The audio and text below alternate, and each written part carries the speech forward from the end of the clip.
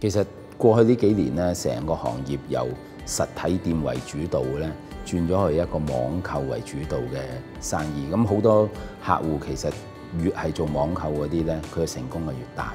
咁我覺得呢個係成個行業一個衝擊啦。咁我覺得如果作為 Live Style，我哋呢一個咁嘅平台咧，一定係需要提供呢個咁嘅 digitization，先至可以迎合到呢一個行業上面嘅變化。對於成個 supply chain 嚟講，我哋覺得可以有好多嘢幫到一啲即係 startup 嘅品牌。咁呢啲品牌其實佢需要有好多啲咁嘅 resources 啦。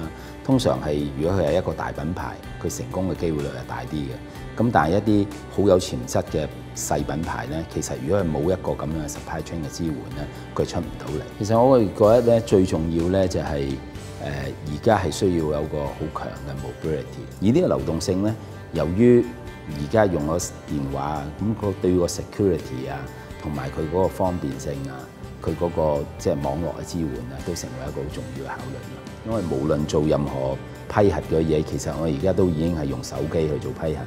咁你可以想象個過程裏邊，如果你呢個 security 做得唔好咧，咁係背後咧會有好多衍生出嚟嘅問題。當我哋選用咗呢個 cloud 嘅 solution 之後咧，咁我哋成個 security 啊，同埋成個誒。即係系統嘅維護咧，就由呢個 service provider 去處理。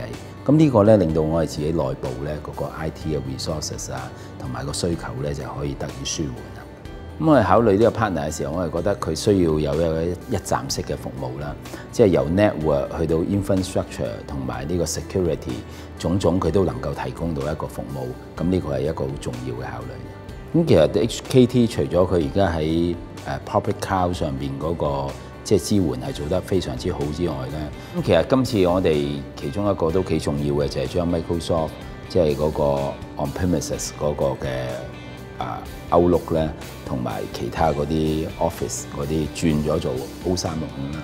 咁轉 O 三六五其實都係一個唔容易做嘅事，因為啲同事我哋公司又温咗咁多年，咁其實將嗰啲 data 由即係 server 轉上去。即係靠上邊用三六五，成個 implementation 其實都即係需要一個幾大嘅支援。